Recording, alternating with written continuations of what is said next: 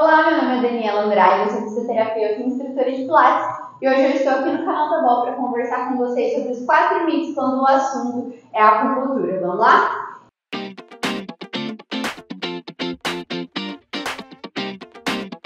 Então, a acupuntura é uma técnica, um ramo né, da medicina consiste em aplicação de agulhas em pontos específicos, em hastes metálicas, em pontos específicos que vão fazer com que esse paciente trate algumas doenças, elimine alguns desconfortos e consiga ter alívio anestésico de alguns desconfortos também, tá? E ao longo da história aí da cultura surgiram alguns mitos, principalmente para nós aqui do Ocidente, em relação a uma técnica oriental, né? Então quero falar com vocês sobre esses quatro mitos. O primeiro é ser seguro, porque afinal vai penetrar na minha pele, né? Então uma agulha vai vir na minha pele, será que é seguro mesmo? Sim, a acupuntura é segura. Primeiro porque você tem que escolher bons profissionais, profissionais habilitados para isso. Esses bons profissionais vão saber olhar e vão saber identificar os pontos necessários, porque não é só sair aplicando agulhas em qualquer lugar. Existe um fundamento que diz aonde essas agulhas devem ser aplicadas e o bom profissional vai saber disso.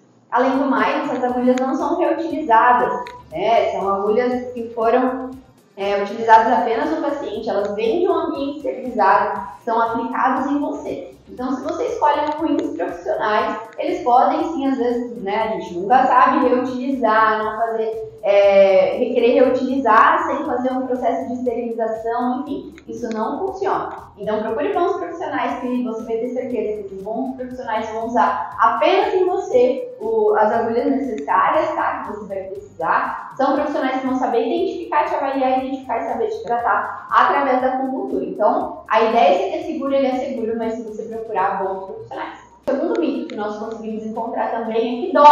A agulha vai entrar no meu corpo, dói, machuca. Nós temos que tirar esse mito da nossa cabeça, porque a agulha de acupuntura não é a mesma agulha que nós recebemos uma injeção numa farmácia, por exemplo. Uma agulha rígida e dura. Essa agulha não, é uma agulha, uma haste de metal flexível. É, muitas vezes até imperceptível para a sensibilidade, para o nosso tato. Então, às vezes você pode sentir que a agulha penetrou sua pele, às vezes nem isso, dependendo do local, se o seu tato é, não está tão bom ali, você às vezes nem vai sentir agulha penetrou, tá? Então, você pode sentir algum leve desconfortozinho, pode acontecer, mas não quer dizer que é aquela dor insuportável de ruim. É claro, se você é uma pessoa que tem pavor de agulha, talvez não seja o tratamento ideal para você. Você pode escolher uma outra forma de tratar a sua dor. Mas fiquem tranquilos com a dor, porque a haste de metal é bem fina, tá bom? E aí, nós temos os dois últimos mitos. A ideia de que a acupuntura é um efeito placebo também se disseminou muito aí. E hoje a gente pode dizer que não é, porque existem estudos científicos que comprovaram o tratamento fisiológico da é, acupuntura.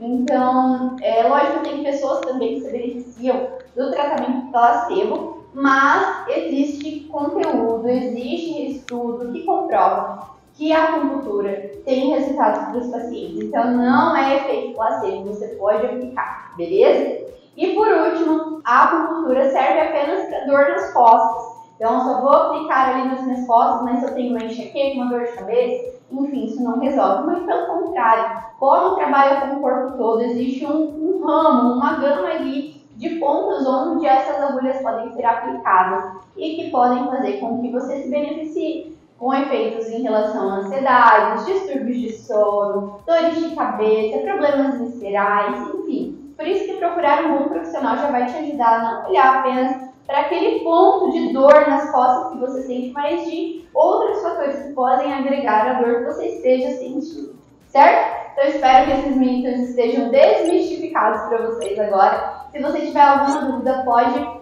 mandar que nós vamos ter o prazer em responder vocês. Até mais!